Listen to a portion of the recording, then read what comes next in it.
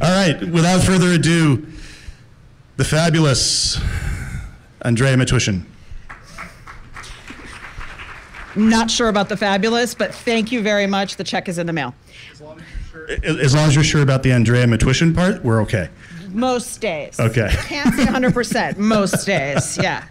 So thank you very much for the invitation to speak today. Thank you all for showing up at 9.30 at a HackerCon morning. That is hard, I know. Um, so uh, I will share with you some thoughts. Um, some of them will be intentionally a little bit provocative, hopefully. And I look forward to engaging with all of you on the topics that I mention in my slides.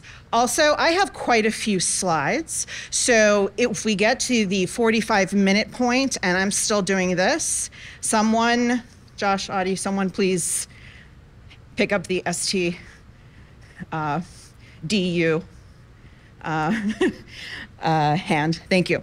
Okay, so this talk is titled Homicideware um, for reasons that are probably uh, somewhat obvious to this crowd because increasingly we are starting to be worried about the confluence of life threatening events that endanger both life itself and physical safety of human bodies. So before I launch on my thoughts on this topic, just to give you a brief sense of who I am, where I've been, I've been doing this a while, um, and for better or worse, it is my 25th law school reunion this year. Not sure how I feel about that. I'm speaking at it. Also, not sure how I'm feeling about that one. Um, so, I've done some government stuff, been in this community. It's been a great pleasure since 2003. Um, and I look at things maybe a little differently because my background's a little different than um, most of you in this community. My views are mine. Please do not attribute anything that I say to the nice people in government that I work with. I'm not their fault. I'm me. Um, also, this is original academic research, so please discuss this to your heart's content. But please also do remember where you heard it because it's kind of soul crushing to have, you know, 20 years worth of work summarized in a one paragraph blog post that may or may not be quite right without attribution. Um, so please, thank you. Okay. Away we go. In case you need to take a little nap at any point during this talk, I'm going to summarize everything on two slides. Security is the linchpin of technology safety, but we have generally not been talking about it this way in policy and legal circles. We have instead kind of essentialized, exceptionalized the questions of technology as they relate to issues of physical safety, but also economic safety, emotional safety, financial safety.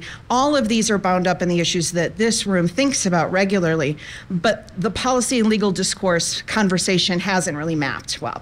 So, confidentiality, integrity, availability issues are regularly now threatening public safety questions, both in terms of infrastructure, but also on an individual level but here's what's shifting now, and I have very um, kind of mixed feelings on this one.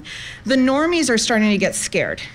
The kinds of questions that I'm getting from my non-tech friends now are shifting. That include, and they include things like, oh, this is what you've been trying to warn me about for the last 25 years. So that is a positive evolution, but it also means that they're having that initial um, moment of trepidation, fear that some of us uh, may have experienced when we first realized that all we've got to defend us is us. So, the way that we tell the story to policy folks, to normies, to ourselves about the last 25 years of what we've been doing in security is going to shape the next 25 years of security. This is a great point to pause, do a little bit of self reflection on the way that we've been talking about these questions and whether the way that we discuss them in community are the best way to talk about them with people outside the community and figuring out how those things fit together. So I'm calling this conversation a Goldilocks problems situation, which you'll see in a minute, uh, hopefully with a bit of humor. But there are some hard truths that I think we haven't quite discussed amply about insider attacks, the uh, perhaps inadequate threat modeling for insider attacks, the internal controls inadequacies that are rampant inside our companies that are very sophisticated in some ways and kind of let stuff slide through the cracks in other ways. And the language of internal controls is the legal language. So some of these terms that you know what I'm talking about, but they look a little weird, it's because they're the way that the legal framing would engage with this as we enter the age of AI security, which you had a wonderful keynote about yesterday, things are going to be more complicated. Not necessarily new, but more complicated, and even more about tech safety for reasons that we'll briefly mention. And increasingly, the line, as we all know, between civilian safety questions and national security safety questions is functionally gone because of the revenue models of some of the uh, threat actors that we know exist in other parts of the world. So the public relations spin about harming innovation in tech creation, it's just not going to hold water going forward. It's not going to stop liability because the frameworks that will be applied are not those from technology spaces, they're from law spaces. And the way that legal uh, finders of fact, we would say, judges, juries, uh, regulators think about these questions are going to be very harm focused. They're going to look at the bad thing and work backwards. They're not going to start with the tech question. So, how should we think about this? If you just hang your hat on, be it hopefully a white or gray hat, um, on the idea of context, harm, and intent knowledge. And I will unpack each of those as we talk.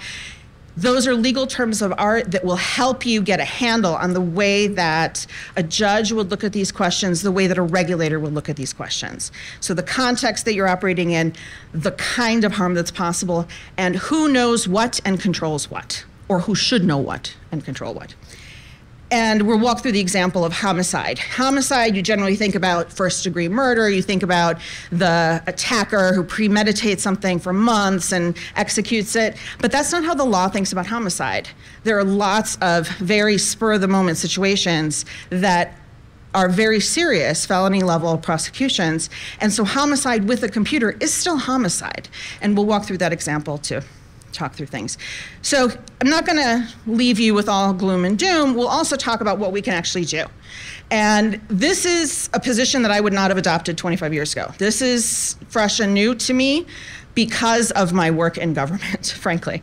And seeing the tech economy shift in some ways that um, I find concerning and that have um, made me fight to remember the joy that I felt opening my first browser and Telnet and those bygone days of the green and black. Um, and I think helping to share that history with the youngins would um, instill a little bit of hope uh, in the way they we're dealing with these questions and remind ourselves that, that, there is still hope. So I think we need a new regulator. I think we need a technology regulator of last resort, not to change things dramatically, just to fill in gaps, to coordinate, to create alignment, as the techies would say, um, on various matters of policy and law, and to help stand up interesting new gap filling initiatives in the most critical sectors like healthcare, where the security problems are not easily handled by small hospitals on a local level. They need help um, and they need coordinated help. So, tech safety is a different framing hinging on context that should be context, sorry, harm and intent, and beware the uh, exceptionalizing of AI. The last point, which is just a teaser for the workshop that will happen immediately after this, we'll be talking about professional society emergence. And I know this is anathema, but it is a part of every mature industry sector's evolution where you get to reclaim your story and tell it the way you want it told. And so this is about storytelling, and this is about building the next 25 years in a better way so that we don't feel like each year we're just banging our heads against the wall a little harder. So please come to that workshop immediately after, and um, there will be stickers, so many stickers. Um, so even if you only stay for a little bit, come for the stickers. Okay, let's start the story. Once upon a time, an attacker compromised a physical perimeter of a physical plant, the confidentiality of the information, the integrity of the internal manufacturing processes, and the availability of critical infrastructure resources. Once upon a time, a potential data science entrepreneur leveraged guerrilla collection tactics to generate assessment metrics for residential infrastructure, supply chain inputs, manufacturing processes, and QA, QA using trial and error and high reliability, low latency sensing technology. Once upon a time, a lost child sought refuge in a structure and survived on foraged food until rescue. Once upon a time, a trespasser entered a bear habitat, ate the day's rations, broke the ursine enrichment materials, damaged the living structures, and potentially germed up the den with human pathogens dangerous to the cub's health. These are all the same story they're all potentially simultaneously true. So, what does this mean? It means that we're living in a complex situation where narratives matter. Goldilocks is simultaneously a criminal intruder, a budding data scientist, from the bear's perspective, a destroyer of habitat, and the bears would view themselves as the center of the story, not necessarily the human child. This is also a story about the intersection between lawyers, hackers, and bears. They are all dangerous when they're hungry. And let me assure you that at this point, the lawyers are getting hungry. And what will make the future rollout of uh, the CrowdStrike litigation that's already been filed and will be filed um, very uh, educational, interesting from a legal observer's perspective, is to see how that plays out in terms of the claim allegations, the settlement rates, et cetera, and the insurance dynamics, which are going to be messy. So, some facts about context, harm, and intent are going to be disputed. So, what do we do with this? Well, in Goldilocks and the Three Bears, there are actually many versions of the story where even the main character changes. So these kinds of tellings and retellings are something that we are all familiar with in the time we're kids. But what does change is whose story it is, what the perspective is from which it's told, whose progress is centered in the evolution of the story. So, in the last 25 years of security, there's sort of been a default assumption of a free ride on the part of many companies of a default of no liability.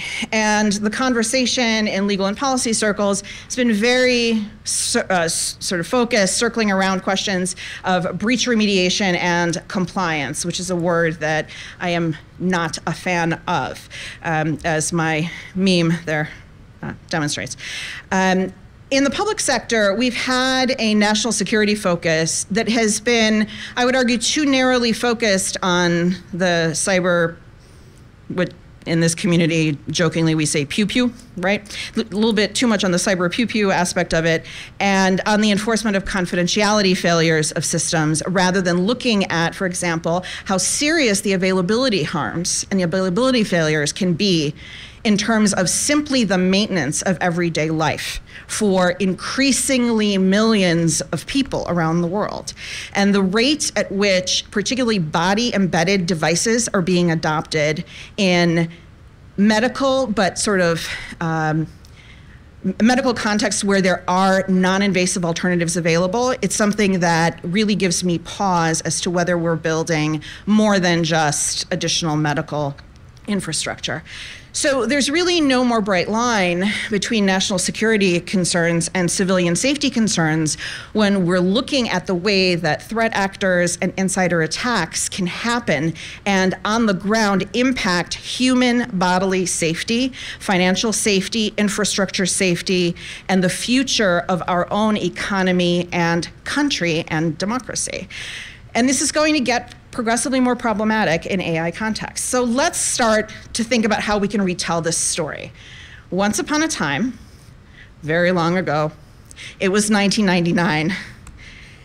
And there was a Y2K crisis that was ending. And this story, and if any of you were at my uh, DEF CON policy talk last year, you know that um, I'm really bullish on retelling the story of Y2K because I think that the people who were embroiled in it at the time suffered post Y2K traumatic stress trauma and didn't. Um, uh, want to talk about it then as much, but maybe now enough time has passed that they can talk about it. Um, there was a successful whole of government response with hearings and plans, and two statutes were passed, and public private sector cooperation worked. There was actually very little disruption in our infrastructures and in the economy. There was litigation anyway, there was a lot of litigation. But it really could have ended differently, and that's the part of the story that's getting lost. Y2K is too often a punchline. It wasn't a punchline, it was a success story. And we need to reclaim that story and retell it every time someone says that response doesn't work, security is, isn't worth investing in. This is one of those case studies that you can point to concretely. But something else I've been thinking a lot about lately is the first generation of viruses and worms. And they weren't motivated by intention to steal, but they still had huge availability impacts. And so when we look at the way that we thought about these two scenarios in 1999, maybe by putting ourselves in the time machine a little bit, we can reconnect with earlier versions of ourselves and start over reclaim the next 25 years because uh, really I think it's our last chance in terms of making sure that we don't suffer an ec- economy wide catastrophic security related event that isn't as easily recoverable as the uh, availability incidents that we've been recently dealing with. So, with the Melissa virus stuff, there's one um, pro se case where someone accused a private party of talking smack that he was spreading the Melissa virus. No big deal.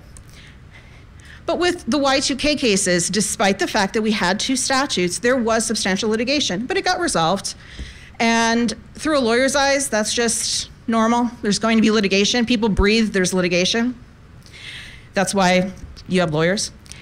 But here's what we should think about in particular. When you look at the Y2K Act, even though it was tailored narrowly about a very particular event with a commonality of interest that was narrow, and we cannot pick it up and wholesale apply it to our current complex context of security dynamics, we should learn from the way that they thought through some of these issues, and they may give us kernels to chew on and to think about kernels in the corn sense, not in the computer sense, to think about how to uh, move forward in the way that we talk about our current security issues. So they define material defect. They explicitly exempted any claims for physical injury.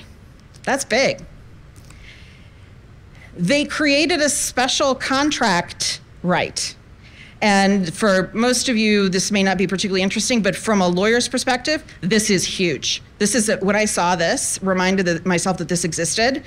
It was a little bit of a mind blown situation. We can talk about that in contract nerd study hall later. Uh, they were conscious of small business concerns. They were conscious of the dynamics of various control entities they were conscious to take out securities litigation and enforcement by other agencies. And here's the one that I think may resonate most with this community. They developed a process for including true expertise for the most complicated cases.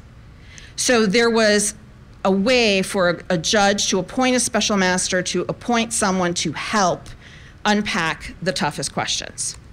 So here are the lessons context really matters.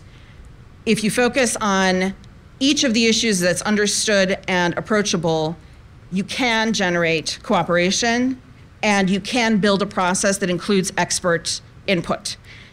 Harm comes often from disruptions, and there will be potentially deadly effects unless mitigated.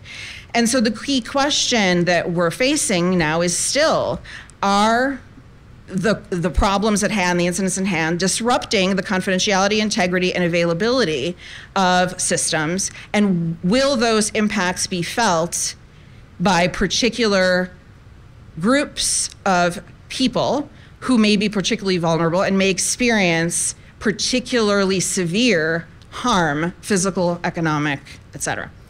And finally, intent and knowledge calculus in law is nuanced, and we'll, we'll unpack this. But this is, I think, the main thing that I hear executives not understand that intent is not just what you do know or what your lawyers told you and, and can be proven with documentation that they told you, but it's also what, in light of your role, you should know and what other factors around you should have informed you if you were paying attention that is the best course of conduct that a reasonable person in your situation would engage in. All right, so back to that talk of last year. I kind of uh, set out the, the warning beacon that liability is already here, liability is coming, that non liability is actually, I would argue, a form of legal tech debt that we can't keep riding on. And that it's going to take various forms private litigants, civil regulatory action, and potentially criminal harm. And then I wrote this post in January about boot loops and security. And I made some proposals, including the one about the Bureau of Technology Safety, and um, the importance of messaging, the importance of having those interventions, the importance of a new agency. And I did not anticipate that uh, we would be facing an availability uh, incident uh, that penetrated the consciousness of everyday folks. So, increasingly, when we talk about security, I would encourage us to think about security as the linchpin of technology safety and that the whole enterprise is about keeping people and things safe. That is a framing that resonates with policymakers and with everyday folks. It will resonate with your grandma, it will resonate with your aunt, it will resonate with your nine year old. And the best test for whether we're messaging well and whether we're talking about our own life choices and careers well is whether we can explain what we're doing to a nine year old. They are a very tough audience. As someone who just spent brunch with a nine year old a couple weeks ago, earning her attention was a trick. So, telling things in straightforward ways that makes sense is um, a skill that um, I think it would be important for certainly myself, but I think the more we can all do it, it's helpful. So the pushback that I always hear is, oh, but what if it's just a defect? What if it's not a malicious attack? What if it's just an insider error? Context, harm, and intent will capture all of that because ultimately the focus is still on the potential harm. It's still a safety incident, even if it was an accidental safety incident. So, for example, the one that's top of mind, we're all familiar with the recent incident that uh, resulted from um, an update that was pushed um, by CrowdStrike. Um, and so $5.4 billion of damage is one estimate uh, 25% of the Fortune 500 disrupted, according to this estimate. Um, and 100% of transportation sector disrupted, allegedly, according to this estimate. And the banking impact was one that particularly concerned me. But we also had 911 systems disrupted. We had hospitals disrupted, flights disrupted. We had, again, with the banks, disruption. Um, and this lasted for um, most of the day at, at, least in some places. Um, and this was a blood supply problem, for example, in the case of New York Blood Center. So, uh, assuming all this reporting is correct, there were many different kinds of entities that were impacted, and the mayor of Portland announced a citywide state of emergency that's bad in terms of potential impact when a city feels and this is not a debatable technical thing. This is how the city feels about its own state of affairs. The city felt that it was in a state of emergency. When normies feel they are in a state of emergency, that's definitely a safety issue, regardless of how we frame the technical discussion that underpins that safety issue. And indeed, um, CISA, um, kudos to them, released um, a set of uh, reports and updates about the incident, including a post incident review. But we also saw that other kinds of uh, unexpected follow on activity was visible, including some scammers using this as an opportunity to push out new forms of malware and to exploit this uh, public concern in ways that were advantageous to them as criminals and fraudsters, and again, damaging to safety of the public. So of course, the social media conversation in this community was um, aggressive, shall we say. And uh, this meme pointed out the experienced reality of these availability incidents. And this is how normies perceived it too. They didn't under, they didn't necessarily understand what was going on at first. Um, they were worried there was this was some sort of large scale attack, um, and it got to the point where um, AARP was sending out emergency bulletins to the seniors to tell them it's it's okay, it's going to be okay, right? So when you have panicked senior citizens, it's a safety issue. Okay. So I found this interesting from a legal standpoint. The characterization of this update incident as not a security incident, but as a defect. So defect is a an, an interesting legal word there.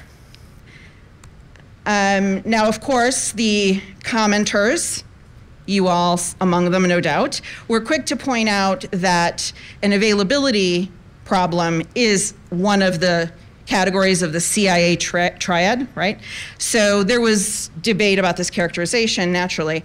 But there were consequences for the entity that, again, to a lawyer's eyes, immediately trigger the likelihood of certain kinds of litigation. Whenever you have an 11% plunge in value, uh, you start to anticipate the likelihood of suits from shareholders because that is commonly viewed through lawyer eyes as potentially enough above the threshold of what would constitute a material change for securities laws purposes. So you're dealing with a public company, there's that layer of securities law and likely a corporate law follow on, but I'm getting too much into the weeds. But here's something that I just want to share as a little signal that I saw this headline and I was like, ooh, David Boies is a very expensive lawyer. So when I saw that Delta was investing in David Boies, that was a signal to me that they were very serious about this litigation.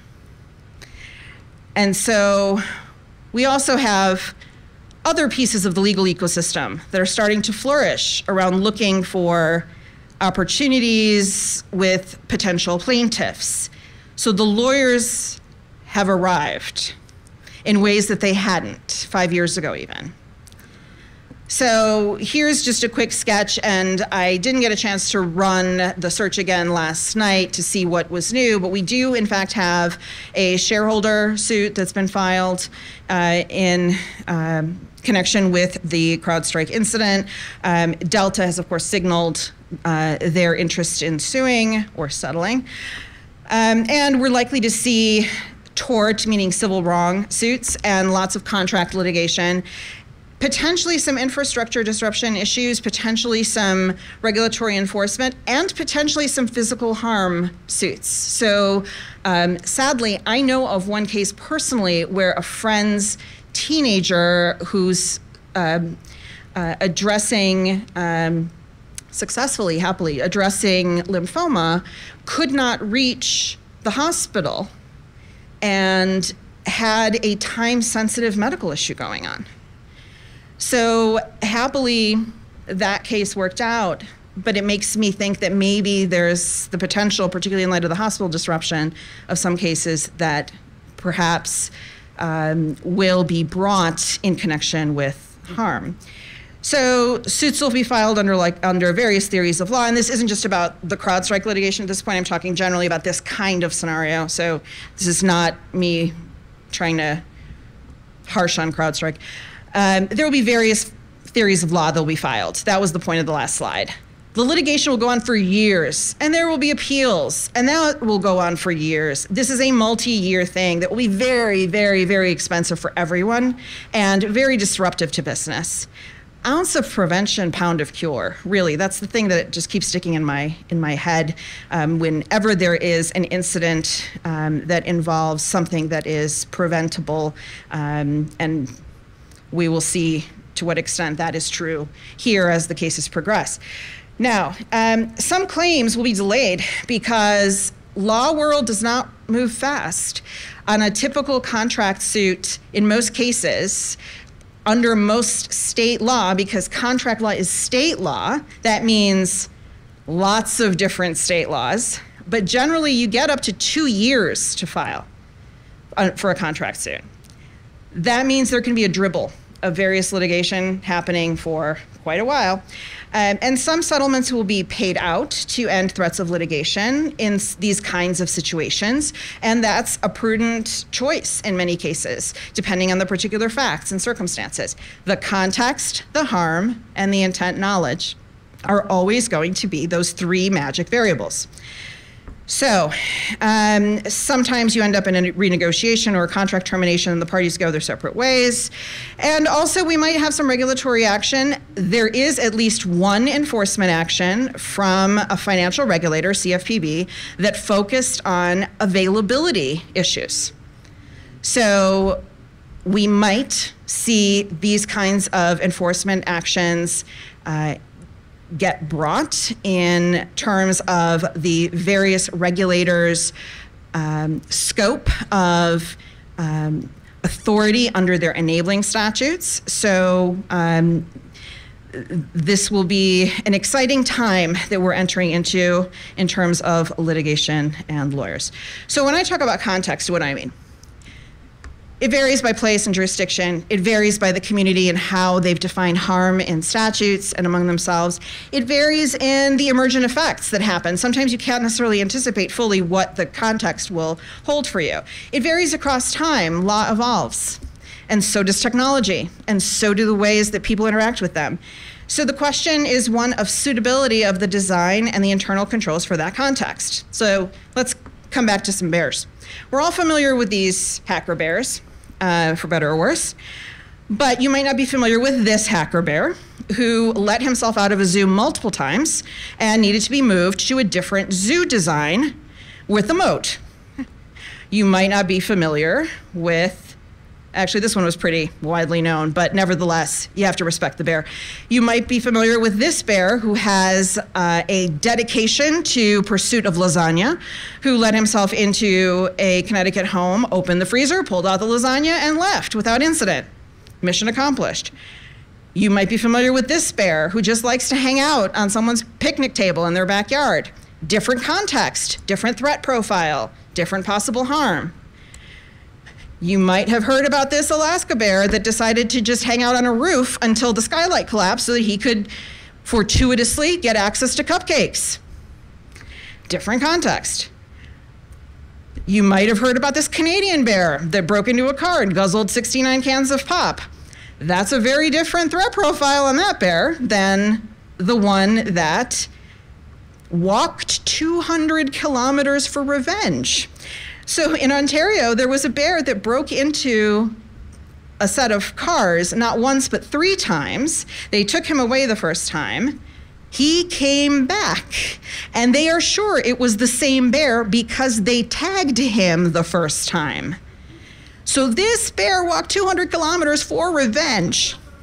That is a very different context, a very different threat actor, and a different response, and a kind of amplified harm because I think they're down four cars now. So context matters. And the, the owner of the cars in this case said, normally they're no problem, but honestly, this one was known to be bad. reputation matters too. So, harm. So, I've been doing some research looking at historical catastrophes broadly defined. And this is still research in progress, but I wanted to preview some of it because as I'm going through this, increasingly there's resonance with the types of issues that we think about in security. So, if you know about a local catastrophe where death resulted in connection with an engineering safety choice, or lack of choice. Uh, please do share that incident with me because the resources are not complete. They are kind of scattered and not necessarily curated in ways that are tailored to this framing. But I think this is an interesting framing for stimulating discussion for us. So these are catastrophes where death resulted and there's an engineering choice, design choice that was involved. So far, I have over 120 in my sample. It's going to keep going up. Um, and so basically, this is a traditional uh, social science methodology. I qualitatively coded each of the cases in the sample using, um, in, in my case, uh, a basically a binary, a, a yes no question around whether there was an uh, an engineering safety problem that arose, um, leaving in the ones that, that did, and what, through my eyes, a court would determine to be the cause, the but for causation, the underlying cause. Uh, just legal footnote in in um, tort law in particular in civil wrongs there are two kinds of causation but for cause cause in fact and proximate cause. Proximate cause varies a lot across jurisdictions and people fight that one out hard. But the but for causation less controversial usually. And so what this started to crystallize for me is at least 10 lessons that I think this research might um, be useful for stimulating discussion in this community. So I kept seeing a repeating pattern of failures to remediate technical debt, failures to finish incomplete projects. We have bridge collapses with cracking cement, partially because of uh, things falling through the cracks, no pun intended, in terms of addressing incomplete parts of the design. There are warnings that are ignored repeatedly. Users, testers, employees, uh, even the actions of neighborhood children sometimes point out that there is a problem and management has actual knowledge of the problem but chooses not to act for a panoply of reasons. There's also a recurring trend of failures to usability test for human operational error. So the interactions that are going to happen on the ground.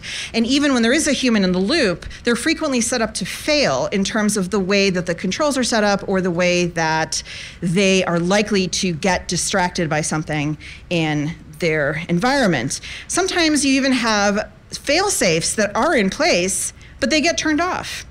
And so we see t- train derailments, we see oil platform explosions that fall into these categories. Um, we see a recurring pattern of failing to threat model to anticipate failure scenarios in foreseeable contexts of deployment and in lack of a planned response. So, grain silos and molasses making operations frequently, apparently, have exploded.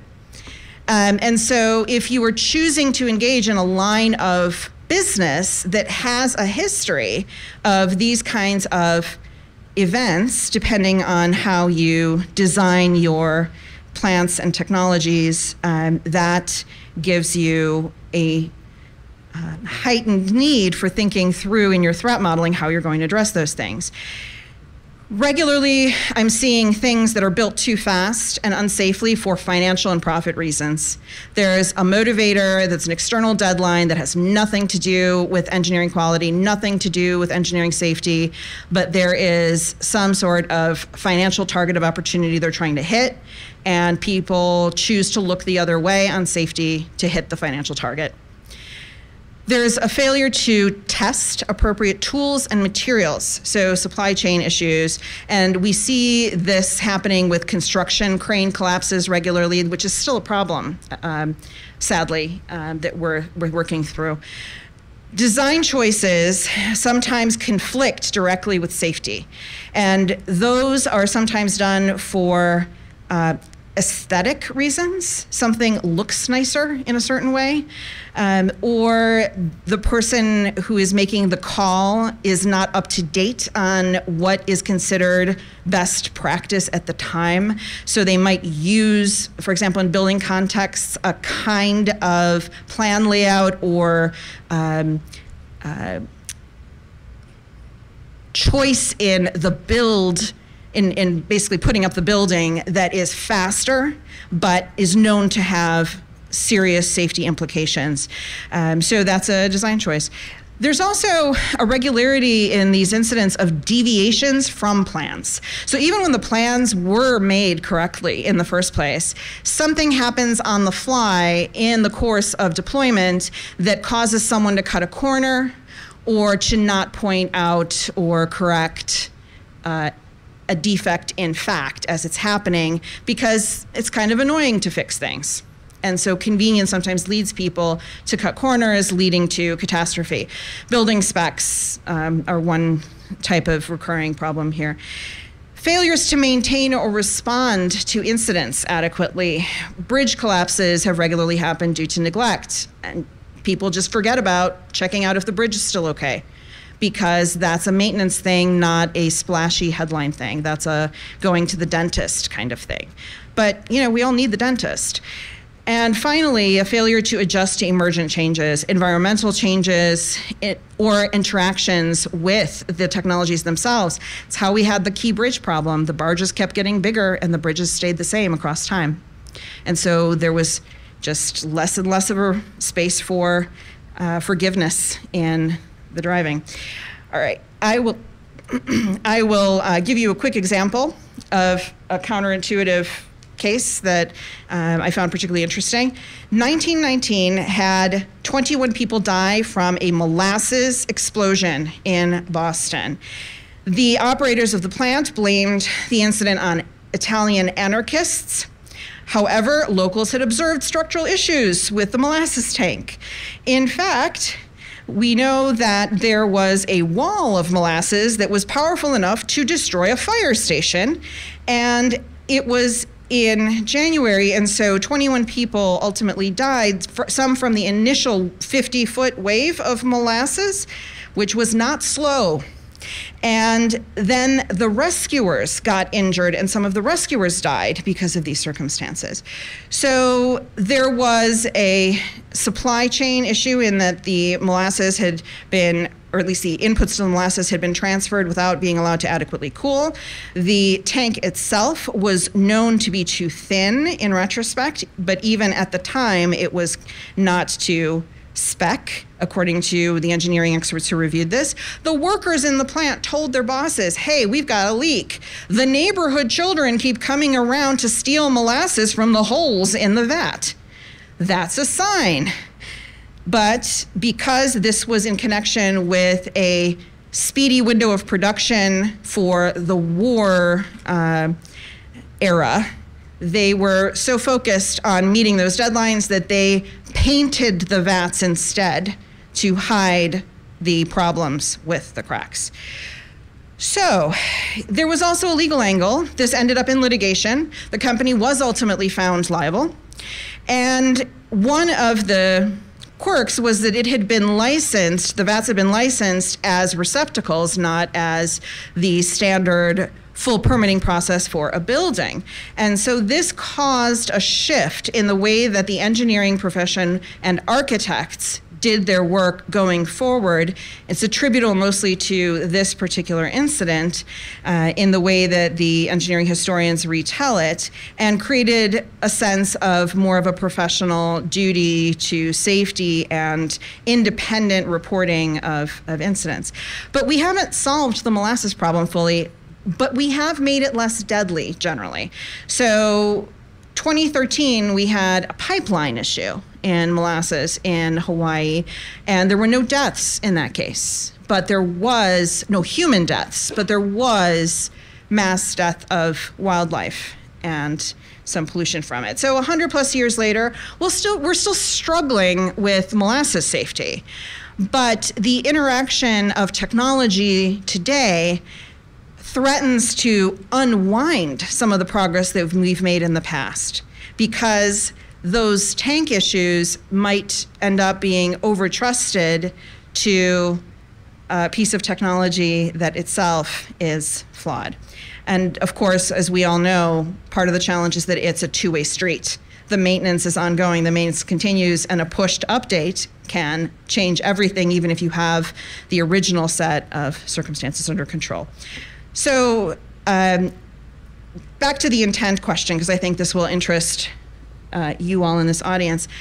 There's a slippery line that can't necessarily be placed well at the time of an incident, as you all know, between an act of an external attacker and potentially an act of an internal saboteur, or someone who had a bad day.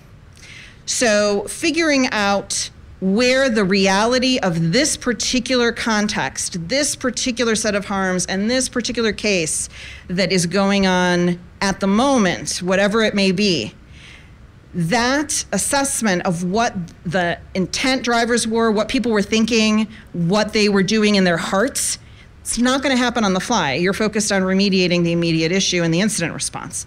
But retrospectively, that's what courts are going to look at. They're going to look at who are you? What is the role of your business in the economy? What is the expected knowledge for someone in that role? You chose that line of work, you chose that business model, you chose those employees. Whom do you control? What do you control? What choices did you control? And for individual liability questions, and there have been some cases recently that I know have been top of mind in this community with personal liability issues, you look at yourself, your own professional history, what knowledge you have been exposed to, what knowledge someone similarly situated would have and should have, and then you deduce a third party finder of fact objectively looking at the situation from afar, whether that's a jury or a judge or an enforcer, says, hmm, based on what I see objectively, do I think this person made a certain kind of choice? And then that determination about the state of mind for that choice guides the determination of what legal consequences follow. So, in civil contexts, you don't have to foresee the full extent of your harm. And this is one of the biggest misunderstandings. You just have to intend to engage in some conduct.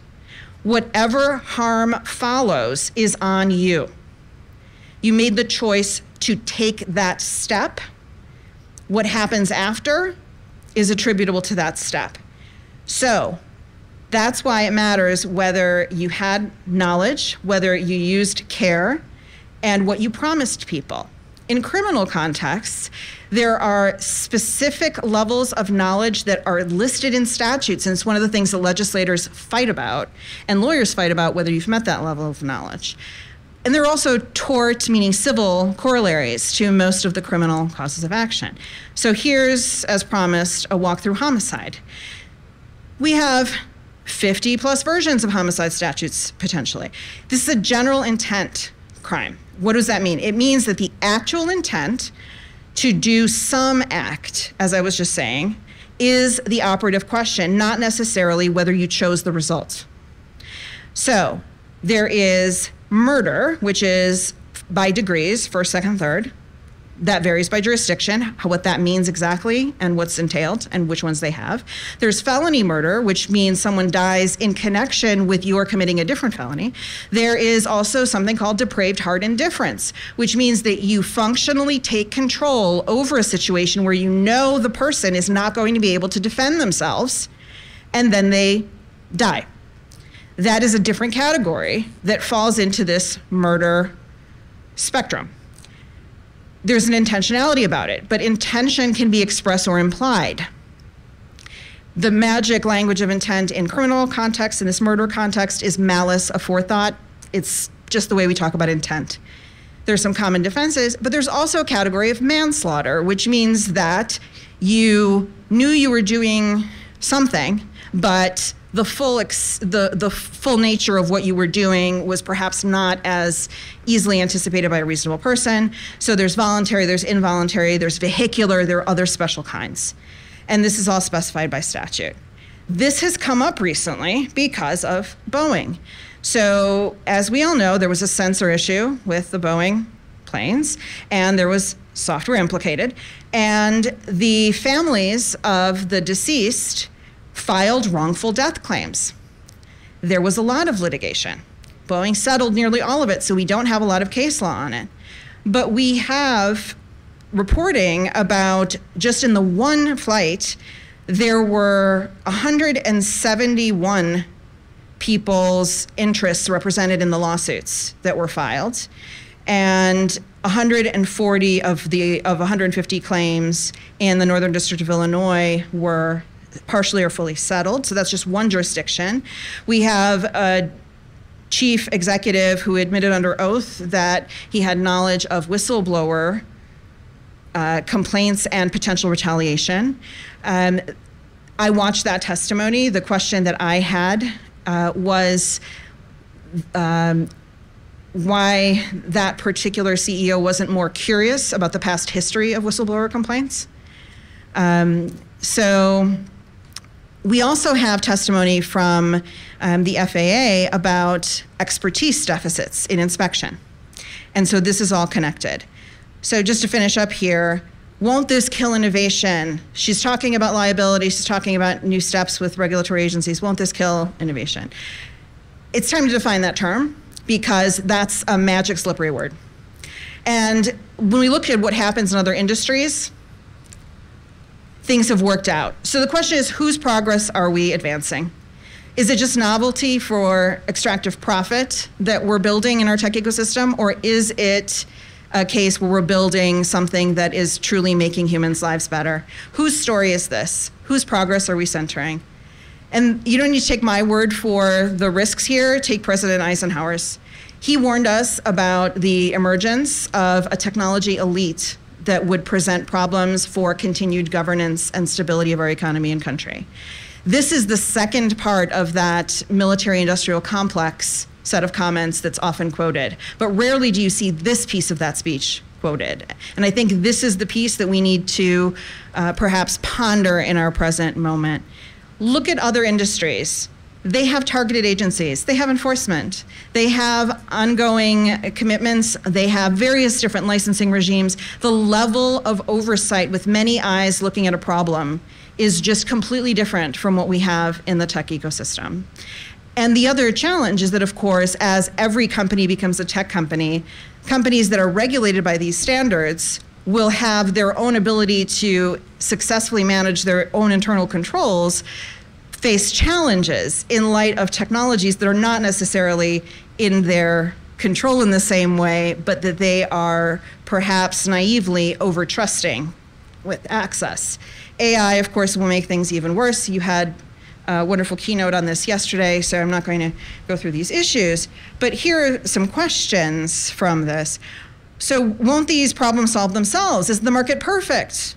Why don't you trust the market, Andrea? Well, um, I know a lot of humans, and I've been a lawyer for 25 years. The market's not going to fix this and 25 years of security and watching this community and the catastrophe research that I'm doing tells me the market is not going to fix this. Also, bears. Bears tell me the, the market's not going to fix this. If you have not read this book, I cannot recommend it highly enough. It is the story of a bunch of folks who shared uh, aggressively libertarian views, who tried to set up a utopia, and things were going relatively fine until bears. Bears showed up and destroyed everything. And so, emergent effects and problems matter and arise, and individuals won't be in a position to address them. And always, for better or worse, there's always that one guy who, let's say, finds a dead baby bear cub, drives it to New York, stages a scene where it was allegedly hit by a bicycle, and then runs away or walks away. Maybe he, maybe he walked away, drove away, I don't know. Leaves it for someone else to clean up. And so, in fact, that's what happens. And that is why the idea of having coordinating points in government is sometimes necessary. Um, and so, with that, I, I, will return to my suggested approaches. Um, the Lawfare post, I would love it if you would read and comment to me about what I get wrong I always want to hear that. Um, so, in particular, what I think we need, apart from those interventions, is an agency focused on the biggest actors in our economy. So, um, I'm using the Hart Scott Rodino standard for those of you who are really in the weeds of competition law. So, it's the biggest companies. And uh, my ideal situation would be a Bureau of Technology Safety with three branches an enforcement division, a policy coordination, technology futures tracking division, and a pilot projects division. And that is it. Thank you for your attention.